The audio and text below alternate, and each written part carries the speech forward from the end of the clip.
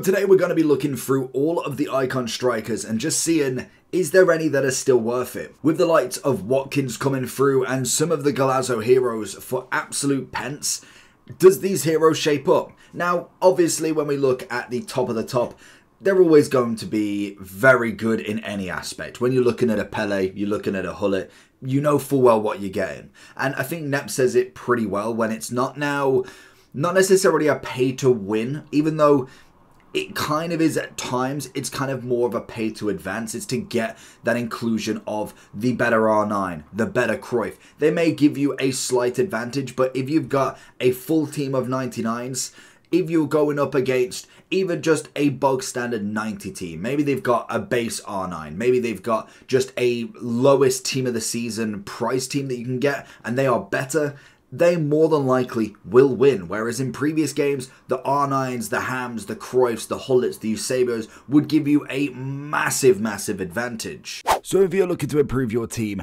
make sure you're heading over to lootbar.gg. They are the best and most reliable coin service you can find. Also with the best 24 hour manual customer service that you physically cannot find anywhere else. But before finishing on lootbar.gg, make sure you are using the code JT11, 8% off your first ever transaction and then 5% off every time after that. Once you've gone through the payment, you'll be able to get your coins within the next 24 hours absolutely guaranteed. Also with the code you'll be able to get 5% more coins on every transaction. Make sure you do click the link either in the description or down in the comment section below. So without further ado, let's get into it then. So straight off the bat, there is a lot of bases here that are just going straight into the absolute bog standard tier. And I think there's no qualms with this anymore. Pretty much most of them now are without a shadow of a doubt pretty useless when it comes to in-game and and that is why the progression is a thing and i do think now there's probably only so many bases that i'd even consider putting into a team to be honest so let's just get all of them in here we'll kind of go through because to be honest I don't think there is many bases that would go above this, to be honest. Uh, Butra, do you know? You know what? Even Butra nowadays, uh, he's got two more upgrades. I don't see it. Cantona, I'd, I'd go for it. I'm gonna, I'm gonna pull the trigger. I do like Dalglish. Drogba has a certain side to him. You know what? If if they, they've got to, they, they've absolutely got to. If they're going up there, that's got to be done. Uh, Gerd Muller slightly better. Then we've got the rest of the bases. So Eto, yeah, he can't he can't go much higher than that. Henry, now, Henry's an interesting one because I think the Rapid Plus really carries him this year. The, the Rapid Plus is absolutely phenomenal. We're still coming in at 239. I'm just debating. He was in the S before. I, I don't think I could quite go in the S anymore. Uh, the Rapid definitely is still very, very viable as an option, but I just I don't see him being higher than that, especially with the levels of cards we've got now. The whole point of progression is the thing. Puskas, I'd go in the same. What does Cruyff has on his base? Because I'm so used to now the, the Golazo and Thunderstruck version. What has even the base got? He's got Flair. Still 766. I think this might be the one of the first years where I'd actually put a Cruyff in an S rather than an S+, plus, and I think that is totally down to progression. Hammond and R9, I think, are just the absolute outcasts of this. They do not crumble whatever. I've played against Mia I've used Mia Hamm, R9 is exactly the same, and every single game they do something. And I, I, can't say that with many icons now. We've seen the likes of Eusebio, mainly Centurion's version from the SBC, and they are still very good, but them two together are just above the rest. And that obviously goes uh, without said for their Team of the Year versions. Both of them are just fantastic. We then have some of the Centurions. Now, Rooney was a, a, complete disappointment with the Centurions. It was only until the Future Stars where I actually got some hype for him. Uh, Trezeguet would be the same, to be honest. I'd even throw Smith in there, to be fair to her. Gullit, on the other hand, is is just a freak of nature. Whatever position you put him in, he's just perfect in any way. Eusebio, I'm going to start bringing down a little bit. I, I do think now we're, we're kind of looking at very similar cards, to be honest. They were released so close to each other. Um, we are still absolutely banging on for another upgrade for him. His SBC was about 2.4 it's it's a crack in SBC. Don't get me wrong. With the fact that Mbappe was next to him as well, you could literally get two strikers that would have lasted you SPQ2 team of the season very, very comfortably. Like, there's only been so many times now where I've seen Eusebio out of teams, um, but for literally like four or five months, or maybe a bit of an exaggeration, probably like three months, he was in people's teams. And if you're spending two and a half million on an SBC, getting three months out of a top tier card is very, very good. But in terms of the upgrade, it, it's hardly like it's absolutely crazy. Like he got the rapid plus, there was no skill move or weak foot upgrade. It was very much just a singular upgrade on the card, which was fair enough for the Centurions. But I am very shocked we haven't had anything since then. We're going on to the Thunderstrucks. Cantona probably only moves at one, to be honest. He only managed to get the single upgrade, I believe, if we can find him anywhere. Yeah, from 89 to 90. So again, very, very, just nothing, to be honest. Cruyff, this this is where I completely disagree. Cruyff is amazing in any other version. The 93 is just slowly coming down pure to stats, but he still is an incredible card. Dalglish will probably go into the A+. plus. Thierry Henry will still go into the S there. Gerd Muller will move up one. Puskas, was this the version? Because I know he's got two extra inform, oh, well, two extra increases.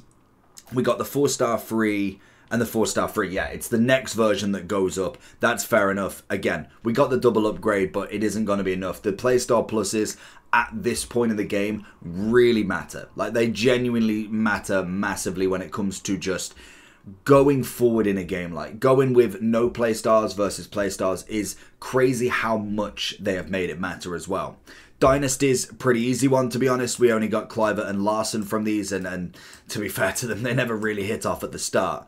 Zola, I'd, I'd still put Zola in, in a good category. I, I don't think he's dropped massively, but he, he again definitely needs an upgrade alongside a lot of people. Barnes, uh, bog standard, same as Hernandez.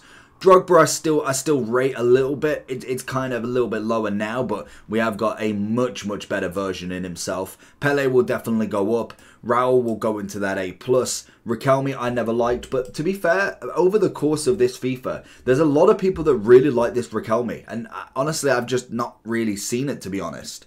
Now.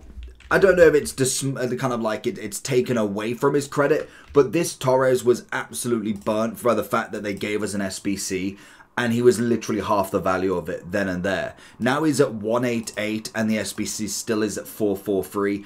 I, I don't know if, if now I'm feeling a little bit more gutted for him, but he was a brilliant card that definitely could have done with the Golazo upgrade. If we saw like a 92, 93 Torres with a double or triple playstyle plus eventually, that would be outstanding because he's very, very good this year. Same as Raul, must, must have. Future stars, we got a few upgrades here. I love Rooney in this version. I think he is, that is the Rooney that I want to see. The Centurions was a little upgrade. Like we said, it was very close for the bases being out anyway, so it, it was kind of understanding that they're not going to give him an absolute crazy card going forward, but the Future Stars was the upgrade I definitely wanted. Crespo, uh, he didn't really hit from the very start, to be honest. Shevchenko wasn't terrible in himself, and, and same with Smith. She weren't awful in that version, but we're starting now to really see the, the, the, gap between what the kind of newest icons can do and the lower ones. It, ju it just is the progression model. Hugo Sanchez, love, love, love the card. Larsson would still would still hit the lower. Obviously, with the Hugo Sanchez, like a lot of them, they do have the double, which is a 4-5 and a 5-4. I think both of them are very similar. It all depends on what you prefer.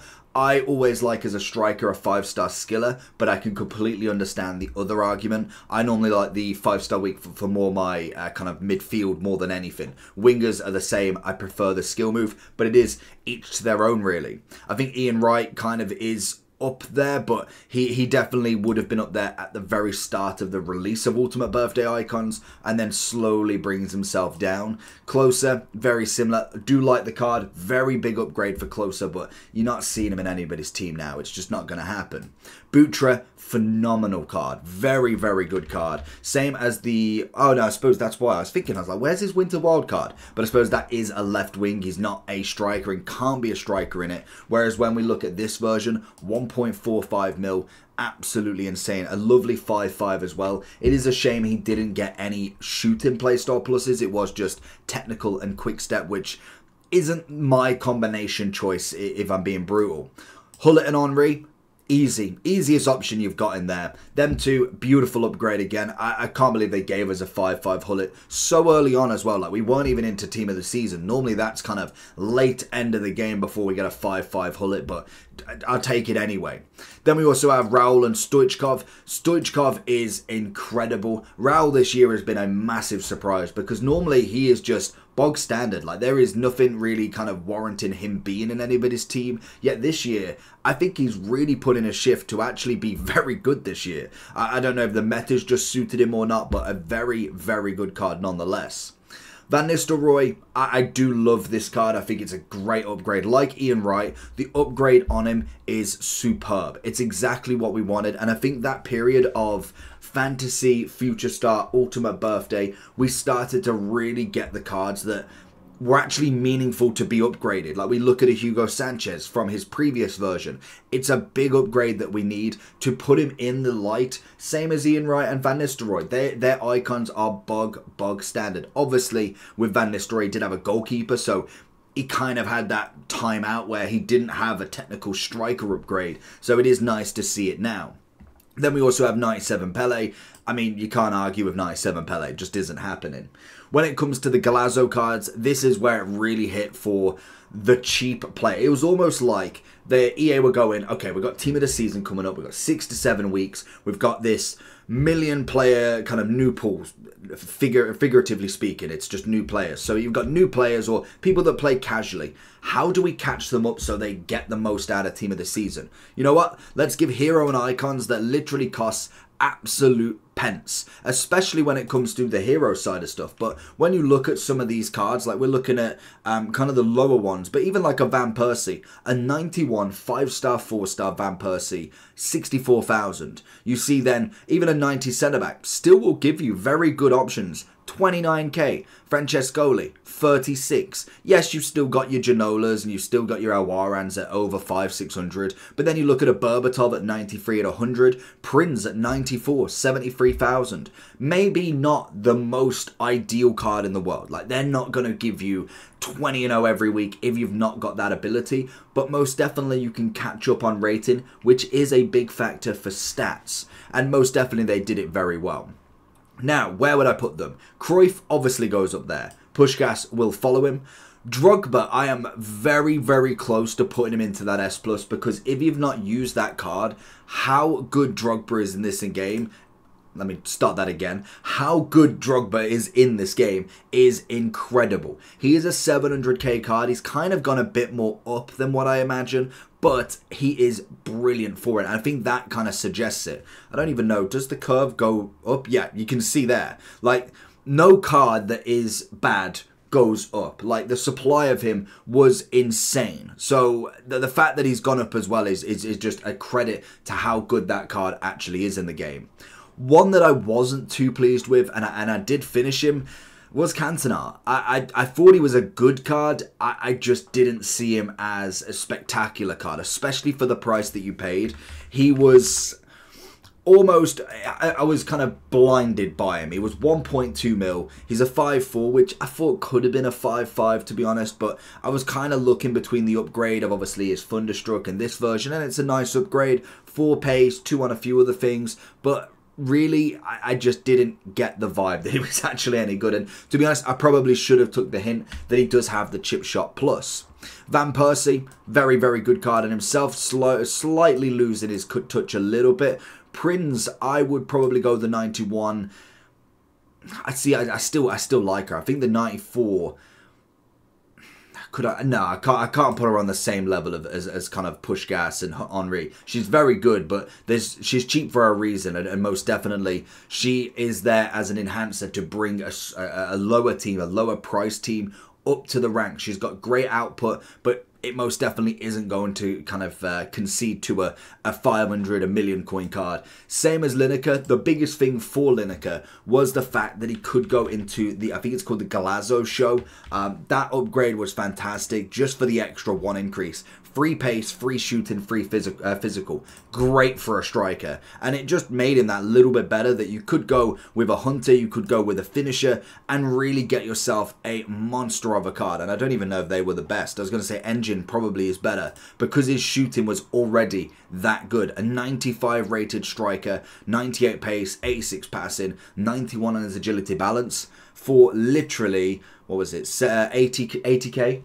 I mean, what could you not like about that card? Very cheap and affordable, but make sure that you don't kind of cross the lines between Lineker being better than a Puskás, being better than someone like a Butra. That isn't the case. He's just very cheap for what you can actually get back from him.